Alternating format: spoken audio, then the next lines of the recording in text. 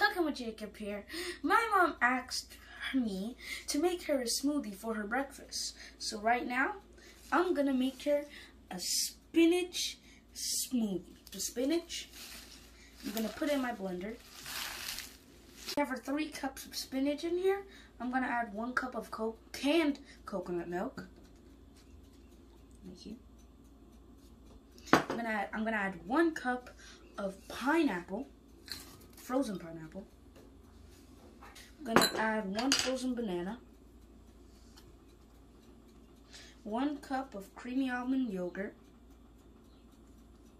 one scoop of protein powder. I'm gonna add one tablespoon of maple syrup.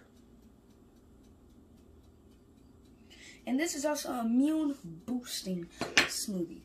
I'm gonna add um, two inches of ginger root, two inches of turmeric, and we're gonna add a little bit of black pepper. We usually never add black pepper to a smoothie, but since we're following the recipe, that's what the recipe calls for. I'm gonna blend away.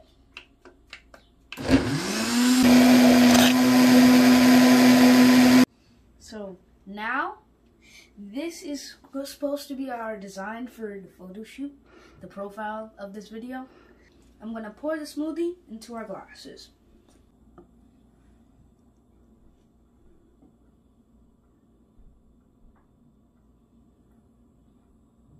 I'm going to garnish my smoothies, our smoothies, with some chia seeds.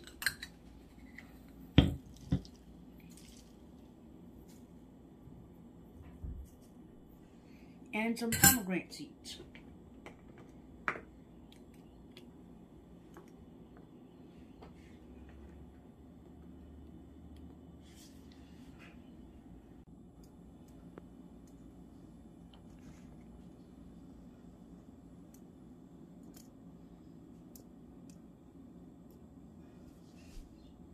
And that is our smoothie. Test taste the smoothie.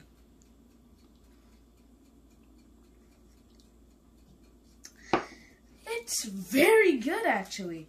The spinach and the creamy almond, well the creamy almond yogurt gives it a sweet and a creamy taste. It's pretty good. It also reminds me of a pina colada.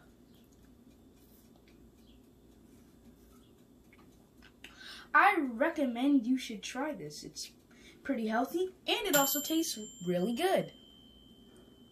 So I want to thank you for watching this video and I hope you enjoy the smoothie, this immune building wellness smoothie. Get the pina colada taste from the canned coconut and the pineapple. Well, the canned coconut milk. So I want to thank you guys for watching this video. I hope you enjoy this nice smoothie recipe and also very healthy smoothie recipe. And I want you to remember, you're awesome. Thank you for watching and have a wonderful day. Bye now.